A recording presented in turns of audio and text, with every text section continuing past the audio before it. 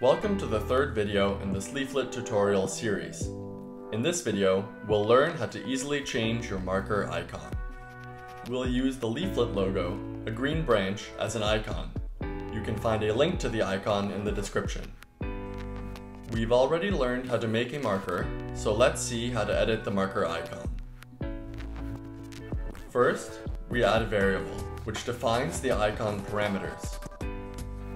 With the icon URL parameter, we define where the icon is stored. We can also define its size. By adding icon anchor, we define which point of the icon corresponds to the marker location.